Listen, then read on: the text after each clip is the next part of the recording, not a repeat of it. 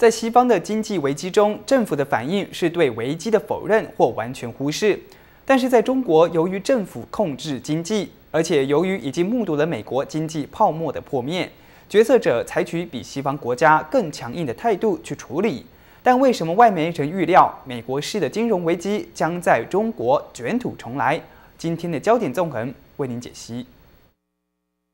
吴教授您好，你好。有一些投资者将中国目前的情况比作二零零七年的美国。根据数据，中国企业和家庭债务占国内生产总值的比例，已经从二零零八年的百分之一百二十左右，升到了目前超过百分之一百七。请教老师，是否真像某些媒体担心，美国金融危机在中国卷土重来？呃，这个问题哦，当然是呃非常重要哦。那我也其实我也蛮同意了哦，因为大家在提到哦，那美国两千零七年的那个次贷风暴哦，次贷风暴那个就是这个呃到最后啊，这些的不良的这个债务啊，已经没有办法的。然后呢，这个呃倒债倒债以后呢，就影响到这个金融哦，所以整个金融体系呢，它就变成一个系统性的风险啊，表面上是。是有这个雷曼兄弟啊，然后呢，他们那破产，然后引呃，这好像引发的这个就全球的这个金融海啸，所以是最后呃，这个首先是从美国开始，然后最后是全球，其实跟一九三零年。在哦，那个华尔街风暴其实是呃如出一一辙了啊。那现在哎，大家在提到这个呃中国的这样一种情况，会不会重演那个美国两千零七年的那个最后的演成全球的金融海啸哦？这个是一个非常大的这样一种问题啊。那刚刚也提到一些讲到这个数据的啊，美国好像是八年啊，然后才呃增加这个呃三。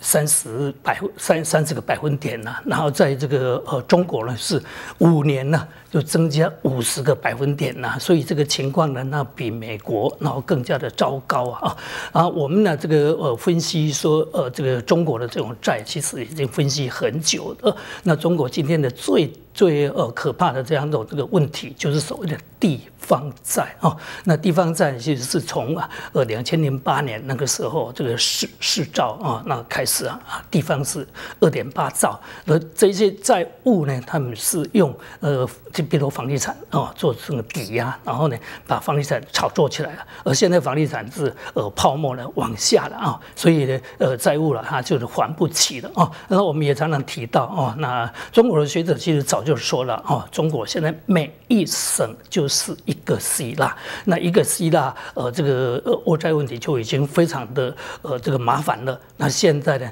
呃，这个中国那么多省都是一个希腊，然后现在开始要引爆，那起来了，这个爆炸力量当然是非常之大哦。那比这个美国，呃，那。